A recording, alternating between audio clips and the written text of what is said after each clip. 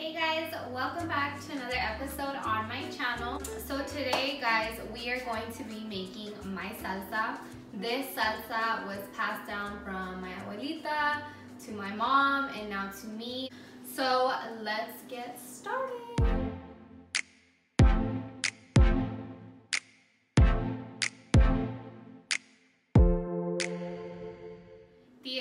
That you guys are going to be needing today are red tomatoes, chiles rojos, like I said. What is this one called again? Ah, serrano, chile serrano, um, chile jalapeno, uh, chile habanero, and like I said, you guys can use your own chiles, whatever chiles you guys prefer. Cilantro, garlic, salt, and then one onion. And yeah, so those are the ingredients you're going to be needing. Um, okay, so first things first, you obviously want to wash all your vegetables and um, make sure that they're clean. You're gonna start off by getting, um, I usually do two tomatoes, but for this video, I'm gonna go ahead and use three. So I'm gonna do three tomatoes, and I am going to be using chile jalapeno, and I'm just gonna be using one. Look how thick and fat that one is. This is actually a good jalapeno. Um, one jalapeno and then also if you guys know chile serrano. I like to use different chiles in my salsa just so I can get like different types of like spices and like flavors in there. So I'm gonna use um, I'm gonna say three chile serranos because they are uh, chiles rojos and that's what the color that we're aiming for today. We're gonna make salsa roja. Um, and I also have two dried up habanero, habanero chiles that I, to me personally, once, well, this is what my grandpa told me, is that a chile is spicier when it is dried up. Um, so I kind of let them dry out a little bit before I actually use them. So I buy them like way in advance and let them kind of dry out on their own. So here I have two, so I'm going to be using two. And then also we're going to be using the cilantro, of course. So you always want to wash your cilantro.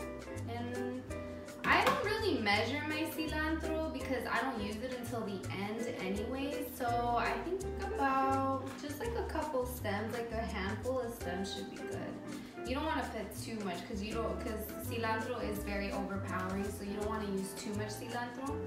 Um, so yeah, so throw that in there as well. And then we are going to wash all our vegetables with cold water.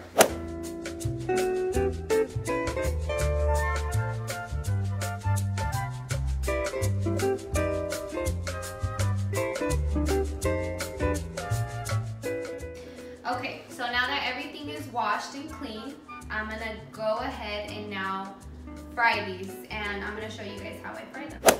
Okay guys, so this is how I always start off my salsa.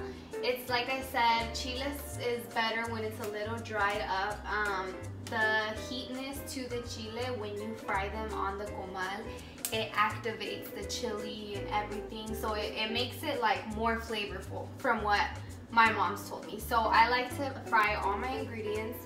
So I'm gonna add all this to the comal. The garlic too to fry it out. I mean the garlic fries pretty fast, so I'm gonna have to put it exactly all on the same time. But I do like it to cook with everything just so I know that it'll be ready at the same time. And make sure you guys turn a fan on because if you guys ever fry chiles, it can get pretty, pretty spicy and you can actually start coughing from it because the spices are so strong. So yeah, so we're gonna leave those frying for a couple of minutes. Um, I usually leave them frying for about like 20, 20 minutes and I turn them as I'm going. Um, so yeah, we will come back to these right now. You guys hear those beautiful noises?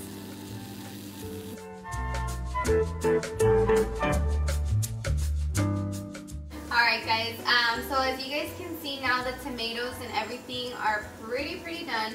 The garlic was done pretty quick, like I said, it doesn't take too long. So I'm gonna take out the chiles now. But look at how pretty that is. That's that's what we're aiming for. Bien doraditos. Make sure that you're getting all heating up all the chile. Look at that. Beautiful. Uh, the tomatoes, I think I'm gonna give it a little more just because the bottom's still kind of like cooking.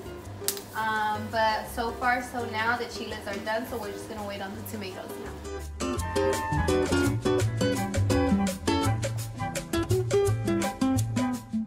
Okay guys, so now that we have our tomatoes ready. I let them cook a little bit more because this is how I want it to look kind of all around so it gets the flavors going. Um, now we're gonna put them in a pot. It could be any pot, um, so I'm gonna add it into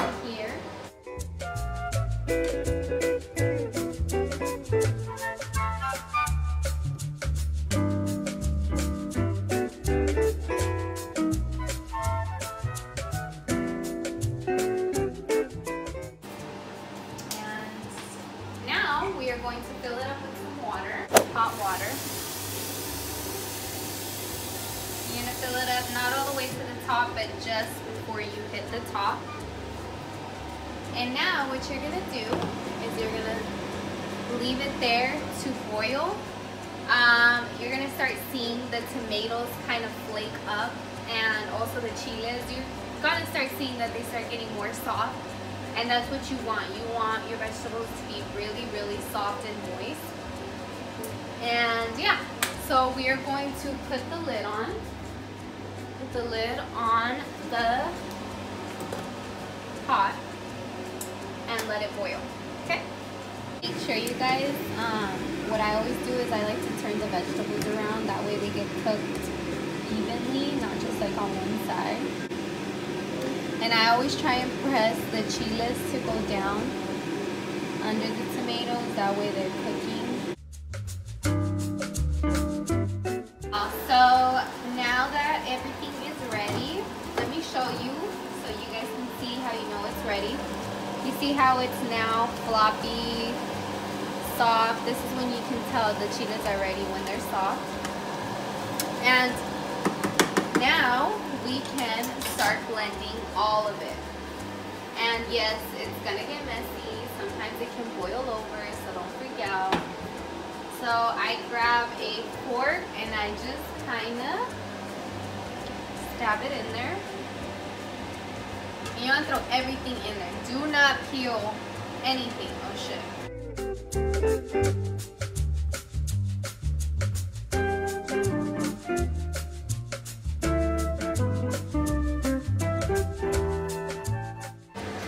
Oh shit. Whoops. Don't do that. Okay. So we are going to start blending and first things first, don't throw out the water that you boiled all your vegetables. The water, think of it as a broth. You want all the flavors, here let me turn this down so I'm not yelling at you guys. Much better. Um, you want all your flavors and everything to be in the salsa and if you can look right there, the water is literally kind of like rojo, like a little coloring. You see all those little um, flakes of the vegetables. That's all like the broth of the salsa and that's the most important part when you're blending this. So you're gonna add that in there. Look at that color. Think that should be good enough. So you don't wanna add too much water because you don't want your salsa too watery. So that should be good. And then you're just going to cover it and blend it up.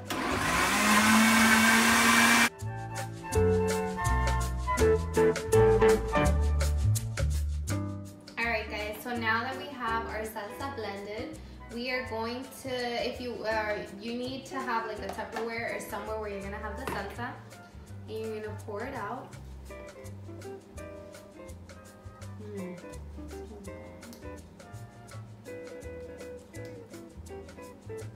And if there's like little bolitas of tomato and stuff, it's fine. It's not gonna kill you.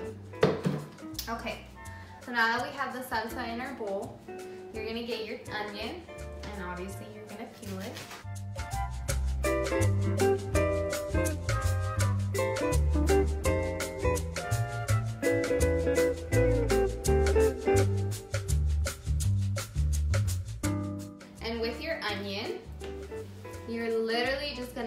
into it. I'm going around in a circle. Just gonna cut into it like that.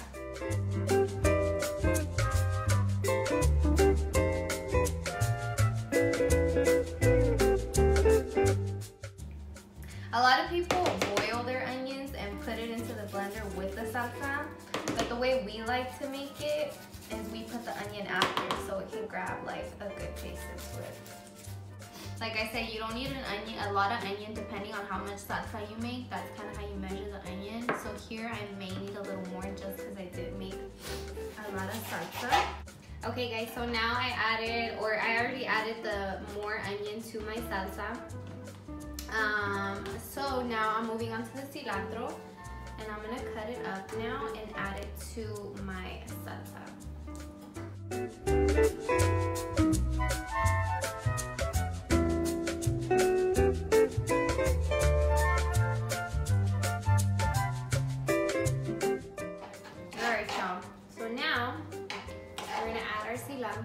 Salsa. But it's okay if your salsa is still hot. We want it to be hot because this is when it's starting to get all its flavors and everything. When it's hot, it tastes better. So you're just kind of mix that in and you see the onion, the cilantro, everything. And you're gonna start seeing, you're gonna start smelling all the flavors put into together. So really, really good. It came out really good. I'm so happy right now. Okay, and last but final step, un poquito de sal because you want to add your flavor obviously. If not, it's literally going to taste like water. And I like to add little by little because you never want to over salt your salsa. And you just kind of taste test it as you're mixing it in. So, but I feel like I've made salsa so much now that I just kind of know already how much it needs. So I don't really have to taste test it as much, but if this is your first time making salsa, add little by little by little, because like I said, it's not gonna taste right if you put too much or too little. Because if you think about it, you're adding salsa to foods, to tacos, to whatever you're gonna do, so you don't want it to like overtake on the saltiness. So what I do is just I add a little on my hand.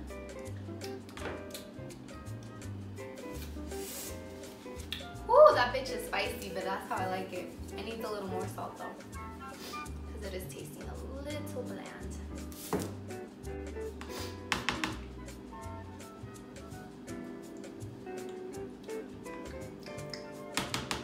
Perfect. All right, guys. So now what you're gonna do is you're just gonna let your salsa cool down and once it's gotten down to like room temperature, you're gonna put it in your fridge, let it sit for like an hour or an hour and a half or until dinner is ready and then your salsa should be ready. So I will be back with you guys right now.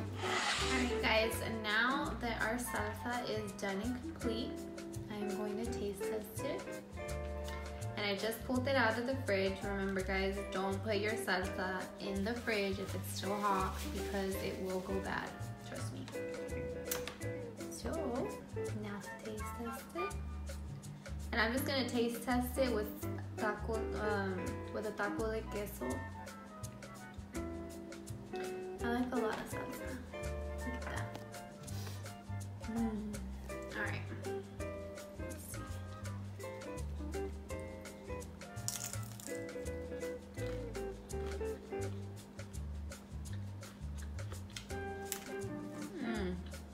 Bomb it needs more. I like to taste the cilantro, the onion.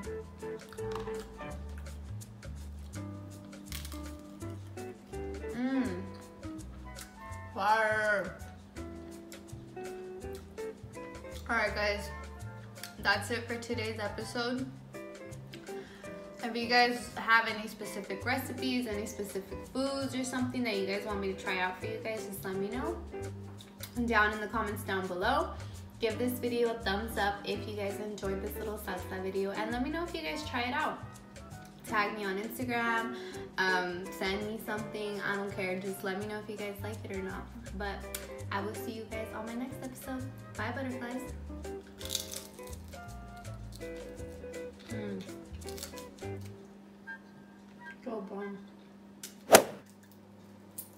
My mom would make me like peel these onions all the time when we got home from the grocery store. I hated it. But now look at me, a life tool. Alright, this motherfucking piece is being ridiculous with me right now. Yeah, choose the box. Okay. Woo! That onion's strong. Oh my god. That burned. Okay. Look, I'm crying. Ah. Okay.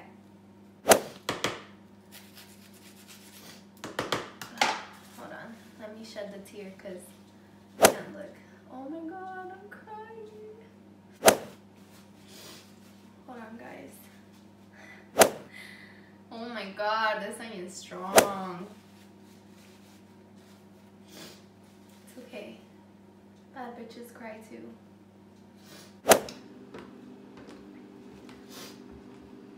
Dang, that onion really fucked me up.